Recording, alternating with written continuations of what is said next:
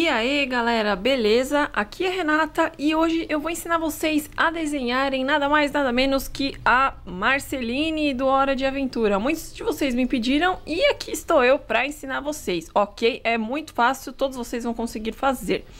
Bom, como de costume, eu vou começar fazendo um círculo, que é aquele círculo para fazer a marcar, aliás, a cabeça da, do personagem, né? Eu sempre começo fazendo a cabeça eu usei um lápis 6B, fiz bem forte para vocês conseguirem visualizar melhor. Eu percebi que no outro vídeo não deu muito bem para visualizar, né? No último que eu fiz ali, acho que do Bimol. Então hoje eu resolvi fazer com lápis 6B para ficar mais fácil para vocês enxergarem. Então eu fiz ali a cabeça dela, né, um formato de um círculo, sempre com os traços soltos, a gente pode riscar bastante na hora do rascunho. E agora eu tô fazendo a estrutura do corpo. Eu vou fazer a Marceline meio que numa situação voando, sabe? Então ela não vai estar tá com o corpo reto, assim, não vai estar tá numa situação em pé. Por isso que eu fiz a estrutura do corpo dela, assim, meio que de lado e tal. E agora ali eu tô marcando as perninhas dela. Geralmente eu faço primeiro... Nossa, tô rouca, que horror. então, voltando... Geralmente eu faço primeiro o corpinho, aliás, geralmente eu faço primeiro a estrutura do corpo, né, ali com os palitinhos, né? Muita gente chama de formato palito e é assim que, que eu chamo também, apesar que tem vários nomes, aí tem axe, né? A galera mais profissional chama de axe, aí depois você vem com faz o axe, depois faz a blocagem. Mas o importante é o resultado, né? Então tá, eu tô fazendo lá os palitinhos pro corpinho, já fiz ali o tronco, já fiz o quadril dela, que eu marquei com uma bolinha também. E já fiz os palitinhos, né? O axe das pernas. Agora eu tô fazendo ali o, os ombros dela, né? O peito e tal. Apesar que esses personagens de Hora de Aventura não tem muito peito, mas a gente tem que marcar, né, gente? É assim mesmo. E o bracinho dela que vai estar tá um pra cima ali. Por isso que eu tô fazendo ali aquela salsicha pra cima. Hora de Aventura é um desenho muito legal de fazer, muito fácil de aprender também. Para quem tá aí começando a desenhar e gosta desse estilo de desenho, vai na fé que você vai aprender rapidinho como que é. Tô fazendo ali agora a marcação da franja dela, que eu acho que facilita um pouco para eu acertar no tamanho do, do rosto, né? Eu vou fazer primeiro a franja e o, o topo do cabelo antes de fazer a marcação dos olhos e tal, para ver se vai ficar tudo certinho. Marceline é uma das minhas personagens favoritas do Hora de Aventura. Eu acho que ela tem um visual bem legal, assim, é meio rock and roll e tal. Só que em contraponto, eu também gosto muito da, Marce da Jujuba, né? Que é aquela princesinha toda fofinha e tal, rosa. Apesar de ela não ter nada a ver com a Marceline, eu gosto pra caramba das duas. Eu acho que são aí as minhas favoritas depois do Jake e do Finn, porque não tem como gostar daqueles dois, né, gente? Então, sempre Jake, Finn no começo de tudo. então tá, gente, como vocês estão vendo aí, eu tô fazendo o cabelinho da Marceline, é como se fosse uma folha, um formato de folha embaixo, é um cabelo bem cheio, bem pesado. Um, posso riscar várias, várias vezes antes de fazer o, o traço final ali do desenho, né? Não tem problema, quanto mais riscado, mais é, você vai ver se tá certo ou não. Então não tem problema riscar a folha, você não precisa fazer já na hora sair certinho, Quanto mais você risca, mais você vai ver se o desenho ficou realmente correto. Não tenha medo de riscar uma folha. Sempre risque quantas vezes for preciso, até você ver que tá certo, que tá legal, tá te agradando, ok? E geralmente também, gente, é legal vocês fazerem o traço mais suave. Não precisa apertar tanto o lápis quanto eu aperto. Como eu disse antes, eu tô fazendo assim para vocês visualizarem melhor, né?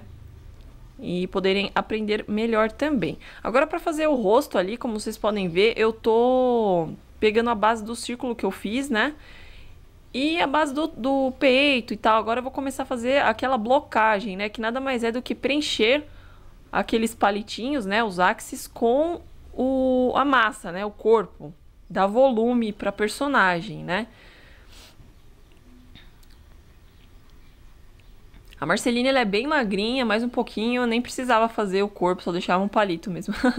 Não, brincadeira, mas a Marceline realmente ela é muito magra. Aliás, todos os personagens do Hora de Aventura são bem magrinhos, né? Todos eles têm um corpinho de salsicha. Como vocês podem ver, ela tá com as pernas cruzadas, né? Uma tá na frente e a outra tá atrás. Não é bem cruzada, mas ela tá naquela pose de estou voando. Então a parte da frente do quadril vai aparecer e a de trás vai aparecer só um pedacinho assim, inclinado e esticado lá no fundo.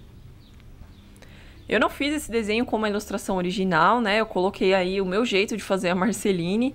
Por isso que ela tá aí um pouco mais quadrilzuda, porque eu não consigo fazer um personagem. Aliás, não é que eu não consigo, eu gosto mais de fazer o personagem com quadril um pouco maior, né? Então eu fiz assim, mas você pode diminuir o quadril, fazer ali a bolinha um pouco menor, né? A bolinha do quadril, na hora que você estiver fazendo a marcação do, do axis. Então você faz aí do jeito que você achar melhor, né? Mas esse daí é o jeito que eu acho que me agrada mais.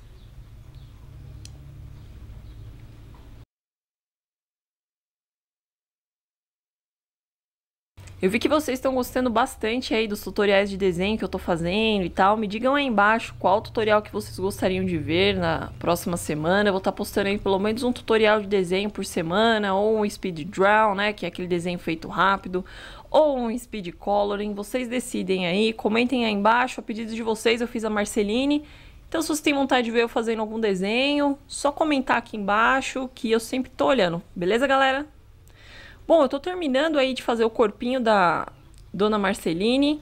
Como vocês podem ver, é super fácil, o desenho tá bem riscado, porque... Como eu falei pra vocês, é melhor, né? Vocês fazerem, riscarem várias vezes sem medo, porque assim vocês vão conseguir acertar uma hora, né? Às vezes a gente acerta de primeira e tal, mas mesmo assim é bom você riscar bastante a folha para ter certeza se tá certo antes de finalizar, né? Antes de fazer a line art.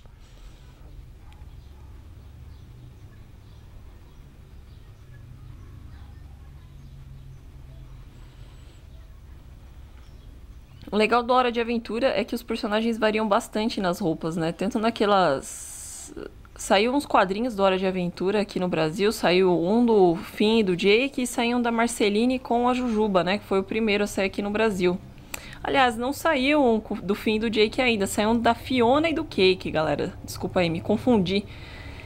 E geralmente eles estão sempre usando roupas diferentes, né? Que nem no da Marceline com a Jujuba, que eu não me recordo agora o nome do quadrinho, mas ela, elas estão assim num estilo bem roqueira, porque elas saem fazendo turnê por aí, né? A Marceline já tem estilo roqueira, mas a Jujuba não, aí é bem legal ver ela usando uma roupa assim diferente, não, sem ser roupa de princesa. Mas mesmo com essas roupas diferentes, a Jujuba não perdeu aquele quê de princesa dela. Mas é bem bacana, assim, as roupas que a galera coloca no, nos personagens de Hora de Aventura, né? Já colocaram até é roupa da Sailor Moon, né? Da Serena na, na Fiona, que é a versão feminina lá do fim. E ficou bem legal. Se vocês quiserem, vocês podem mudar a roupa aí da Marceline, fazer de outra forma, do jeito que vocês quiserem, galera. Pode colocar um vestido, pode colocar uma saia, pode colocar aquilo que vocês mais acham legal. É interessante vocês mudarem as roupas dos personagens também, fazerem, criarem roupas e tal, é bem legal. Bom, agora eu vou para a parte da finalização do desenho, por isso que eu já acelerei o vídeo, né, como de costume, sempre acelero na parte da finalização. Tô usando uma caneta Nankin 08, Aí, como de costume também, eu faço o contorno fino e depois eu venho apagando com a borracha, porque assim não tem o risco de borrar. Depois que eu apago com a borracha, eu venho e dou volume no personagem. Faço o contorno mais grosso onde eu quero. Aquilo lá que eu já comentei com vocês no tutorial da Jujuba, como contornar com caneta Bic. Bom, galera, então é isso aí. Esse foi o tutorial de hoje. Espero que vocês tenham gostado. Hoje é sábado, então amanhã, domingo, eu vou postar a continuação deste tutorial, porém será um speed coloring com lápis de cor. Vou colorir a Marceline aí para vocês verem com lápis de cor. Então espero vocês aqui amanhã. Um grande beijo, deixe seu like se gostou do vídeo, não esqueça de compartilhar, se inscrever no canal se gostou do conteúdo, ok? Então é isso aí, gente. Até a próxima. Beijo. Tchau, tchau.